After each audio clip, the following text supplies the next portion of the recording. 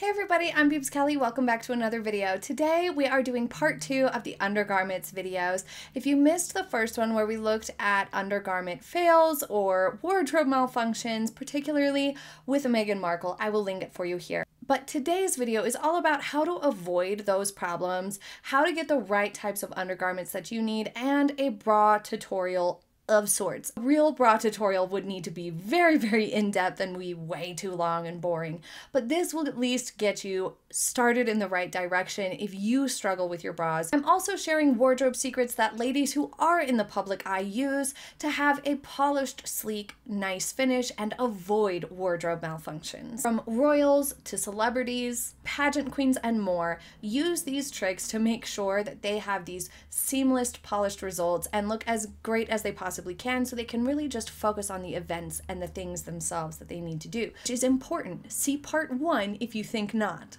Towards the end of the video, I'm even going to share with you my personal favorite bras, a measuring guide, my favorite foundation garments and panties that I go to for those seamless, no VPL sorts of finish. Having the right undergarments and having a polished finish does not mean unsexy panties and bras and things like that. Just like things that don't look good or fun to wear. Not at all. You can still wear beautiful undergarments. You can still wear lingerie. You can still wear fancy bras and panties. It can still be sexy. You just have to take a couple extra precautions to make sure that don't take away from your overall look because of your undergarments. We're to start by covering some of the common bra problems that we have. The number one golden rule with bras is that they should be invisible. It shouldn't be obvious that you're wearing a bra. There should be no indication of the bra itself. So, in the case of sheer tops, that means you need to go for nude bras or something that's like dark, like a lacy dark look, like a black balconette or something like that with some lace could be acceptable if you're going for that look of layering with a sheer top. Tighter fitting tops demand a smoother bra.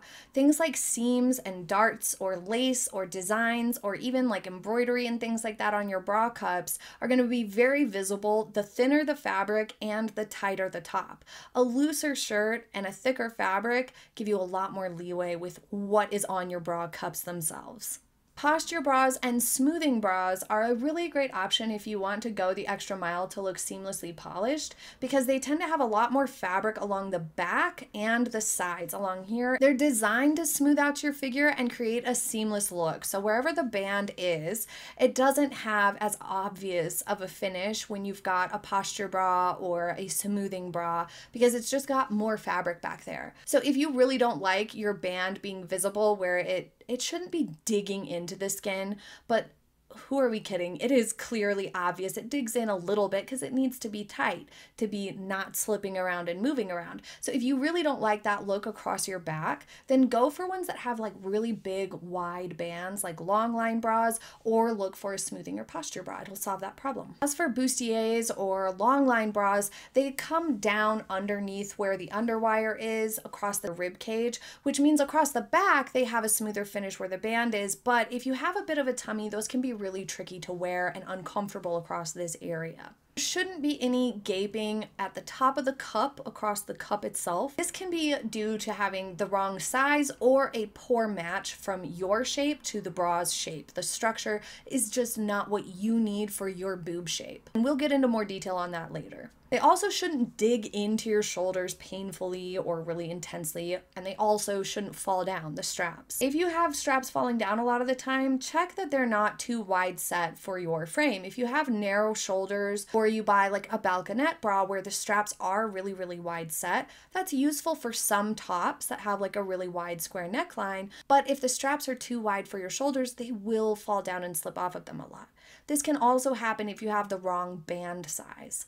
If your band is too loose or your cups are too big, then you might overcompensate by tightening the straps too much. This can also make the band ride up in the back. The band should always be parallel to the floor all the way around your body. So that would indicate it's time to get the right size. The base of the bra and across the band, it shouldn't slip or ride up on top of your boob tissue at all. This would often indicate that your band is too loose, so you need a tighter band. It could also be something to do with your boob shape, with the bra not being as compatible. Again, we'll get more into that a little later. If your band is uncomfortably tight, then you need to size up your band and or your cup size as well. Your boobs also shouldn't be bursting out of the top of your cup this happens to me literally anytime I think, well, they don't have it in my size, I'm just gonna get it anyway. Then I end up with a quad boob effect. You have boob tissue coming out of the top and then the bras cut cuts into your boobs. It just looks bad. Just don't do it. Don't waste your time or your money. Take it from me. This almost always means you need a bigger cup size. In some occasions, you might need both bigger band and cup size. You also, on the other hand, shouldn't see the cup pull away or lift away from the bust at all. That would indicate most of the time you need to downsize the cup. Occasionally, you might need to downsize both the cup and the band. Or once again, it could be that the shape of the bra is not compatible with your body's shape. If your band does ride up in the back, try adjusting the straps to be a little bit looser. If that creates more problems for you, then the band is probably the wrong size. That covers all of the major bra problems that we tend to run into. Hopefully that helps you to determine kind of where you fall and what you need to do to solve those problems. But when it comes to finding the right bra for you and measuring, we're gonna get to that at the end of today's video. Next, let's talk about tights. Nylons, tights, pantyhose, whatever you call them. Any of them that have a sort of pearlescent finish or sparkle to them or even fishnet tend to be widening and less flattering than the almost invisible sort of basic styles. They don't add any visual weight, they're not widening, and they don't compete with your outfits the way other tights tend to. And tights in general don't only create that smooth, seamless base that we're talking about, but they also smooth out imperfections in the skin. So if you're like me and you always have some sort of like bruise on your legs, or you have scars, or freckles, or just dry skin, like anything like that, any of those imperfections, tights smooth all that out and make your legs look a million times better. It's like makeup for your legs, but easier. Go for neutral colors and wear nude tights with clothes that are lighter in color, and go for black or brown tights with darker clothes. Keep in mind that your tights should never be darker than your skirt. Your tights, especially like warmer or thicker tights, work totally fine with boots, but stay away from them if you're going to be wearing flats or heels because they just tend to look really awkward around the ankle or have a little extra room in the ankle. Also, do not wear tights that have closed toes if you're wearing open toed shoes. Stay away from that. When it comes to panties, it's an often overlooked category of undergarments and wardrobe, honestly. Most people think it doesn't matter what undies you wear, but it really, really does. If you're wearing tights, it helps to blur any sort of panty line that you may have, and again, it offers coverage for the belly button as well. But matching the fabric of your skirt or trousers to that of your panties helps a lot to not have any sort of catching or have it be even more obvious where your panties are or where the outline of them are. If you're wearing a slickier, silkier, lighter fabric of a skirt or trousers, then try to wear panties that are a similar texture. High waisted, panties are going to be the best option when it comes to avoiding panty lines across the hips where the waistband of the panties are. The higher up that they come or the closer they match the rise of your skirt, the better. They do make high waisted thongs, which are absolutely fabulous, but high waisted panties in general just kind of help to avoid those lines across down by your hips. Here's the big secret you need to buy your panties one size up to avoid panty lines the best. When it comes to panties that are tighter, it's much more obvious and difficult to hide panty lines than panties that are a little looser. So if you're somebody who really doesn't like thongs, then this is especially important. If you're like a solid medium, or a medium is even a little snug on you, that's great for days off, but when it comes to wearing outfits where you're going out or for work or things like that where you want to avoid a panty line, buy a large. If you're a size small, usually pretty firmly in a size small, buy a medium. The reason is simply because if you buy true to size and they're a little snug or even slightly tight, then they will cut in on your butt cheeks and it will be much harder to hide that visible panty line. As for style of panty that's going to be best to avoid a panty line, it kind of depends, but obviously thongs are going to be the safest bet because they don't go over the cheeks at all. Then you're completely avoiding lines on your cheeks from your panties. So you will not have a panty line in that area if you go for a thong. But if you really don't like thongs or you just want to have some variety or some options for days where you don't feel like wearing a thong, they do make seamless panties and they're pretty good. I have found some brands don't truly avoid panty lines, even though they're called seamless and marketed as ones that won't leave a panty line. The real thing, what they're saying is that there's no seam along the bottom where across the butt cheek. They don't have a folded seam and stitching. They're just sort of laser cut that way, but they still can leave a panty line. So, what I have found to be even better than seamless panties are ones with lacy cheeks. So, the whole cheek area is just lace and usually they're a cheeky style so they kind of come up and have a rounded shape like these from Adore Me and that prevents a panty line really really well. In part because I think they have sort of like a scallop sort of an edge they don't have a defined edge but also there is no seam there. Their fabric is just really thin so these allow no panty line for me even in tight jeans. They're really really they work really really great so i would highly recommend those but also if you're if you really want to stick with like cotton or something like that ones that have lace along the seams can sometimes help to blend the panty line really nicely because that seam just kind of helps to diffuse where the panty line is it's not as good as a thong or a lacy cheeky but it's better than regular cotton bikini panties that have a seam. As for which style of panty will suit your shape the best, it has a lot to do with the shape of your butt. So we're gonna go over that really quickly. If you are pear shaped or your butt is a little bit bigger, lower, or there's like more weight to your butt lower, go for bigger leg openings, like high leg and high cut panties that won't chop through your butt cheeks. If you have a more square booty with like high set hips and less roundness, or you struggle with frequent wedgies, a cheeky panty will help to create the illusion of more curve, while hipsters are often a great fit for your shape overall. If you have a heart shaped backside, eh, which is actually like an upside down heart, those with rounder booties, we tend to have rounder cheeks, and panties will often either fit the cheeks or the waist, but not both. So I have found high waisted thongs and bikinis that have a curved cut along the cheeks to be the best fit, the most comfortable fit, as well as the most likely to not have a panty line. From Adore Me, these are some of my favorite that work really, really well. They don't give me panty lines. They're comfortable. They fit my particular shape really well. So if you have a similar shape and you don't want panty lines, then I would recommend these styles, which they call the Joni, Colleen, Serena, the Helena Thong, the Amelia Lace, and the Ashlyn. From other brands or from really any brand, or the lace trim or the lace butt cheeks or thongs. And if you definitely prefer more coverage or you just want some more coverage for some times, then a high waisted bikini or just a regular classic bikini is usually a pretty safe bet. Now, that's just my personal experience based off of my shape and pairing them up, trying to find ones that don't leave panty lines, besides just thongs, obviously. And I was quite surprised at how comfortable I found the lacy panties especially from Adore Me. I can vouch for them because like I have tons and tons from them that are lazy and they're just very very comfortable. They don't wiggle around, they don't ride up, they don't do anything weird. They just were a really great fit. If you are an inverted triangle where your hips and buttocks are narrower and continue to narrow as you get to the thighs, or if you're somebody who says that you have like no butt, then boy shorts are a great option, or bikini styles that have smaller leg openings and sit lower on the hip because they can help balance out the smaller buttocks area. Those will help as in terms of matching up what you see like online or on labels when you're looking and shopping for panties. Hipsters, bikini, high waisted, high leg, those sorts of terms. Sometimes we're like, well, I don't know which one will be best or which one will fit or be more comfortable.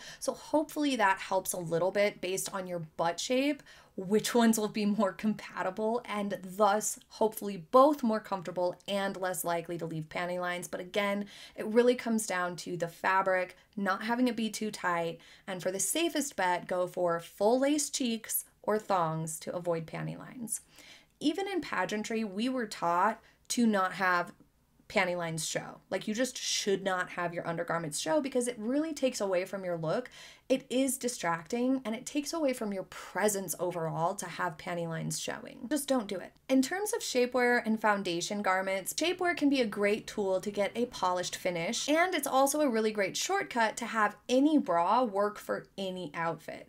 If you have a bra that fits you really nicely, gives you the shape that you like, it's comfortable, etc. It's in a color that doesn't work with certain tops, then a shapewear top or a smoothing tank can eliminate that problem from your concerns because it will cover up the bra texture or color and make it neutral, just a skin tone nude that can be worn under literally any outfit. You can also instead get some tube tops or bandeaus that just cover just the bust portion to again have the same effect without having to have a whole cami or a whole tank top or a whole shapewear piece. One of these rompers will cover a brightly colored patterned or lacy bra, allowing you to wear any bra you want under any outfit, while also offering some benefit of coverage and smoothing for the panty line areas and whatnot as well. Leonisa has great options for shapewear and they have many that are less restrictive, so less uncomfortable. Like I personally hate wearing shapewear and I would really only do it if needed for an occasion, like a specific occasion. But for the day to day, if you just want to make something work for your wardrobe or have that little extra layer of protection, then get a size up or even two sizes up in a shapewear item. Then it's more like a smoothing item and it's not tight and restrictive the way shapewear can be but it still smooths things out and it still gives you that nude color to give you that smooth finish you need. Commando is another great website for shapewear and whatnot. They have the best no slip thigh high tights. I absolutely love them. And their slips are amazing. They have really great slips there. They are all you need to get a polished finish without feeling bulky or unsexy. Materials are quality, they have a great fit, they're just sleek and simple, and very much not frumpy in any way. I know some people don't like adding too many foundation layers because it makes them feel frumpy and bulky, but really it shouldn't if you're getting the right fit and fabric, and ultimately under your clothing, it makes such a difference. You look so much more smooth and streamlined that you end up looking more slender and more fabulous, it never like adds weight to you. Now, sometimes shapewear, if somebody's wearing a lot of shapewear or trying to like squeeze in their stomach and things like that, then it can look a little bit bulky and like stiff. The really, really stiff, strong, almost corset like shapewear, that's just a little too intense. Now, on to the bra tutorial. Bras are expensive. And we are all so varied in our shapes and sizes that it's no wonder finding well fitting bras is really difficult, especially finding ones that are also really comfortable and work for your outfits. Like, it's a massive and often difficult task. It can also become really expensive really quickly. And while lacy and patterned and otherwise snazzy bras and panties are what we're all drawn to because they're cute or sexy or pretty or fun to wear, it serves us and our wallets better to start with the boring bras and panties and then branch out from there. Once you have your bases covered with some good nude and black basics that are really going to cover all of your needs for your wardrobe, then go for the fun stuff. So, always begin with a nude, something that matches your skin tone, whatever that may be. Finding something that's as closest to your skin tone is key. Every girl needs at least one perfectly fitting bra in their skin tone. Don't go for white under white tops. White bras show up. You want a nude bra under white tops for sure. So invest your time in finding a nude bra that fits is comfortable and is smooth. So a t-shirt bra, one that has smooth cups, no embroidery, no lace ups, no sparkle or texture or anything like that. This will be the bra that you can reach for for a huge variety of tops.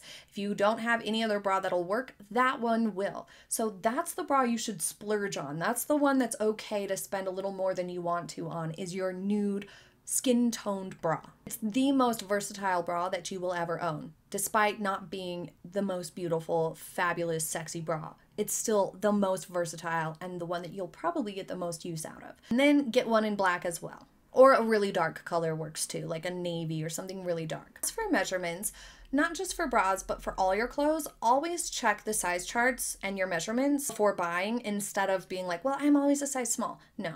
Or numbers like, oh, I'm a size two or I'm a size four. Don't go with that. Go with your measurements 100% of the time because there's no standardized system for sizing anywhere. Like, I mean, there's general, but companies can make things however they want at whatever measurements they want. So the most reliable will always be checking the size charts. For bust measurement, you want to wear an unlined bra or go braless and use a fabric measuring tape under your bust like so. This is your band size, plain and simple for most manufacturers. Some manufacturers will have an adjustment of like four inches from whatever measurement you have here to what band size you have. But most companies have moved away from that to where whatever your band size is, is your true measurement under the bust. This should be literally right underneath the tatas. It should not be down here towards your waist. need it on the ribs, right underneath the boobs. If you get an odd number though, because band sizes are usually even 32, 34, 36, etc. So if you get an odd number, then you can just decide if you need to go up or down. If you're in the process of losing weight or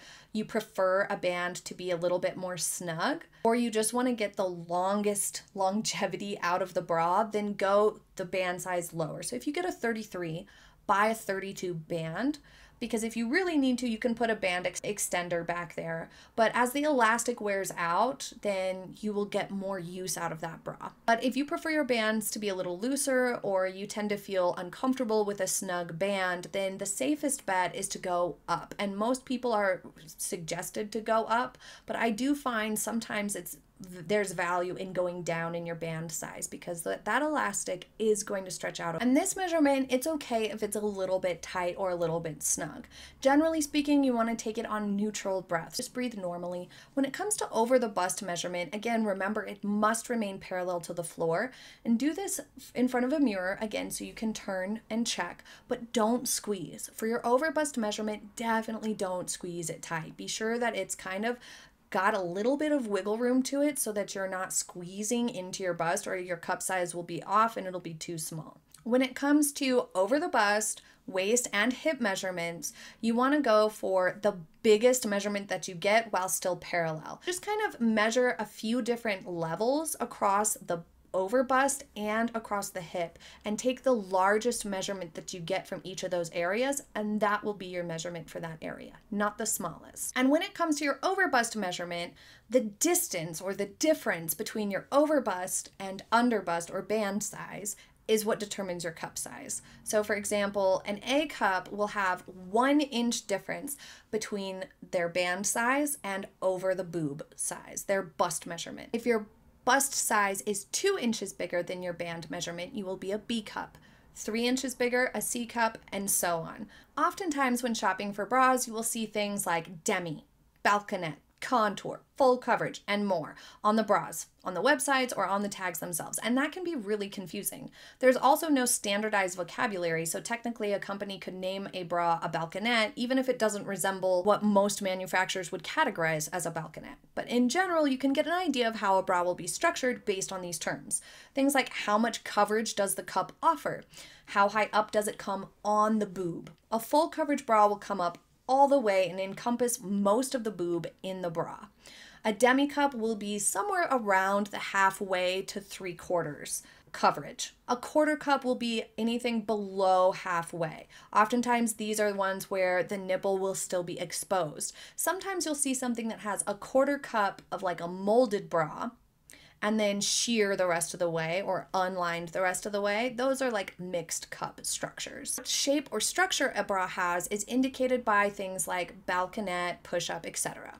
So a balconette is going to have wide set straps like all the way out to the armpits, very much on the edge, and it's going to be a little bit more straight across, a little bit more rectangular in its shape and structure most of the time. Again, remember this is not standardized. So some bras are not going to line up with this. But in general, a balconette you can think of like a shelf. It's going to have wider straps and a little bit more rectangular structure. Contour is going to have more central straps and a much more natural shape. A push-up bra often has pretty centralized straps because of need for support, but some of them are going to be a little wider set. And push-ups are always going to have a decent amount of padding in the bottom of the cup. Plunge means the center of the bra comes down really low to allow for lower cut tops. Sometimes the cups will cut away farther away from the center of the bust. To know how much lining or padding a bra has, look for terms like unlined, which is going to be just fabric, no padding at all. It's going to give you the most natural result, the most natural looking shape. Oftentimes these still have underwire and then it's just fabric across the cups. It's going to be ones like this. They are completely fabric across here. They still have the underwire, but it's sheer across the cup. These are so comfortable. They are so easy to wear and they do, they just give you a relaxed and, and natural look. Lightly lined often refers to a flexible cup still so that it reduces or eliminates nipple show. So it has still a soft and flexible fabric cup, but it's not see through the way this one is, so that it gives a little bit more coverage, but it is not padded at all.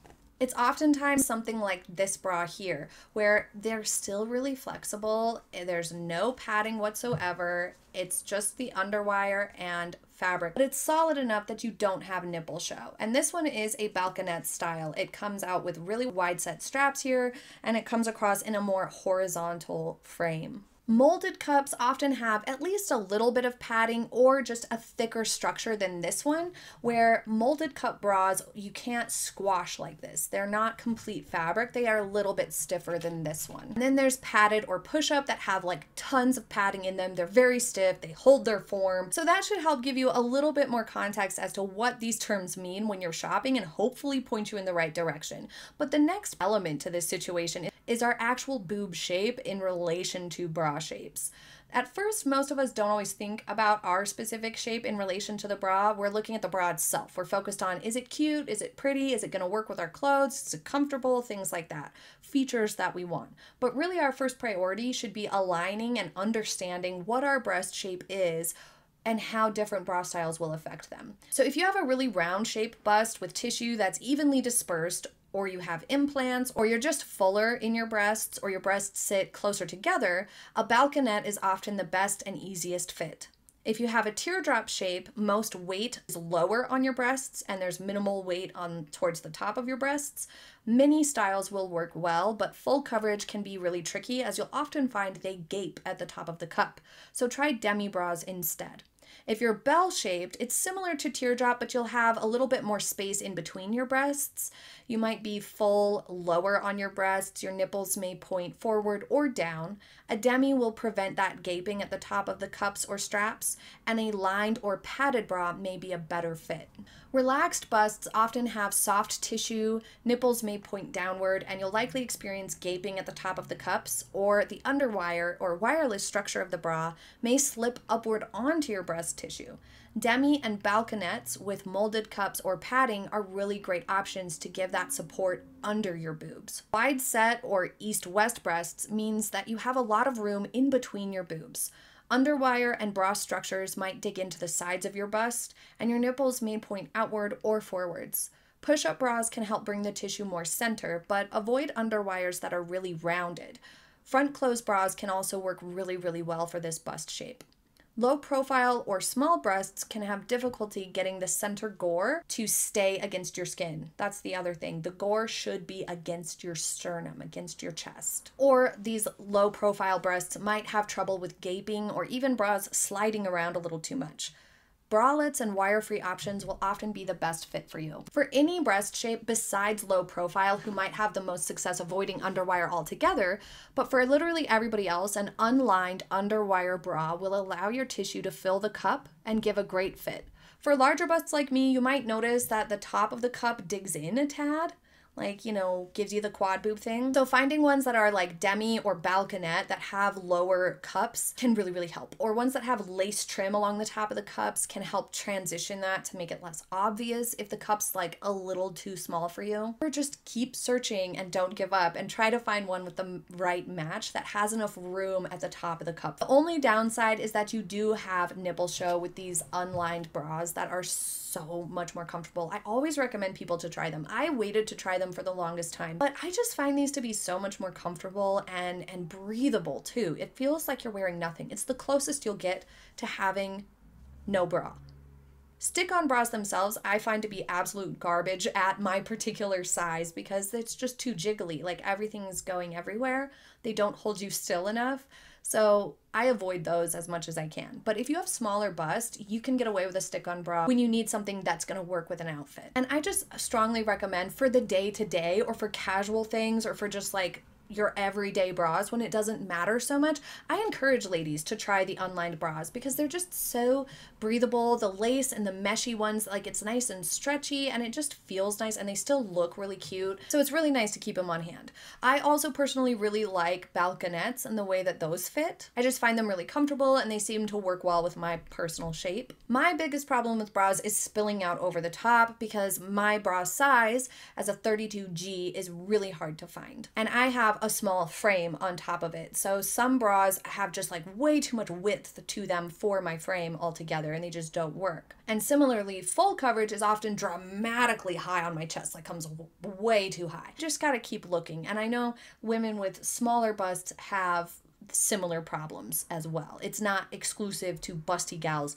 Everybody struggles to find the right bra and shape, and it just takes searching and testing and finding ones that work well for you. Both Victoria's Secret and Adore Me carries at least some styles in this size. And so if you have a hard time finding your size like me, I would recommend them. If you have a larger band size, Glamorise is a really great option. Luckily, if you do have a hard to find bra size, you can often find them on clearance much easier than the standard cup sizes like A, B, C, and D.